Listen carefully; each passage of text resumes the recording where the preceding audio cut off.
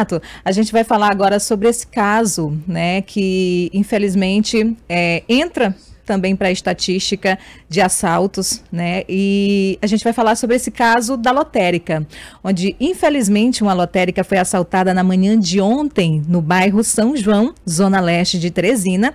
E Renato, esse é o segundo roubo à loteria, a lotérica registrado em cerca de 24 horas. Infelizmente, entra para as estatísticas e a gente vai conferir agora mais detalhes com a repórter Micaela Ramos. Em uma rápida ação, o criminoso fingiu que ia fazer um jogo na casa lotérica. Mas assim que percebeu uma porta abrindo, ele entrou onde era armazenado o dinheiro e fez a limpa no local, em conjunto com um comparsa. Eles levaram aparelhos eletrônicos e a bolsa de uma funcionária, além de 20 mil reais.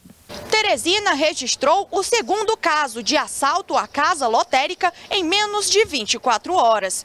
Os autores do crime ainda não foram identificados. Os policiais do 8 Batalhão da Polícia Militar de Teresina atenderam a ocorrência.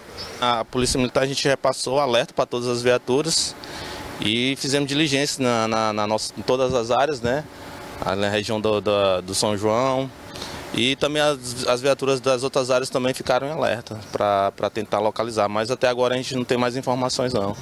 E é, agora cabe à Polícia Civil fazer o trabalho de investigação para tentar localizar esses indivíduos. As forças de segurança do estado do Piauí estão nas ruas para localizar e prender os criminosos.